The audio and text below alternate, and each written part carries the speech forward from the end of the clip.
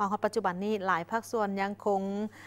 ได้เล็งเข้าไปช่วยเหลือพ่อแม่ประชาชนทางเบื้องของแขวงหลวงน้ำทา โดยเฉพาะกอเมนนำเอาเครื่องอุปโภคบริโภคต่างๆ ไปมอบให้กับประชาชนที่ประสบภัยในเขตดังกล่าวนี้ และล่าสุดทางบริษัทเบียร์ลาวจำกัดก็ได้สืบต่อในโครงการเบียร์ลาวแบ่งปันนับใจช่วยผู้ประสบภัยน้ำท่วม ซึ่งในมือวันที่ 13 กันยายน2024 นี้อยู่ที่สมุทรสรของทางแขวงหลวงน้ำทา ทางบริษัทเบียร์ลาวจำกัดก็ได้มอบผลิตภัณฑ์น้ำดื่มหัวเสือจำนวน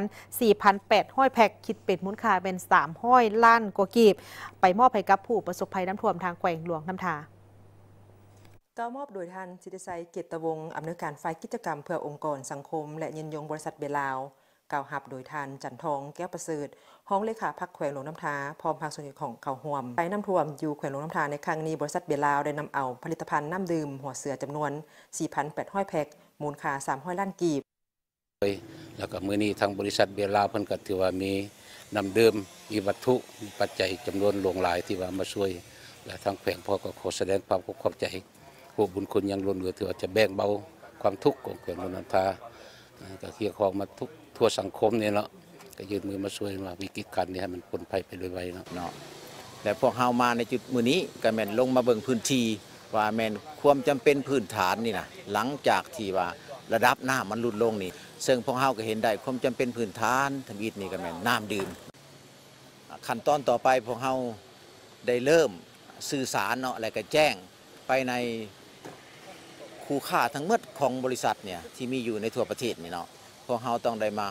ร่วมแหงร่วมใจกันเนาะสวยกัน ในเมื่อ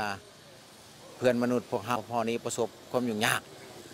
ก็ต้องได้สวยกันและจะมีการระดมทุนอีกครั้งที่สองเพื่อจะมา สวยพ่อแม่พี่น้องประชาชนชาวแขวงลงน้ำทา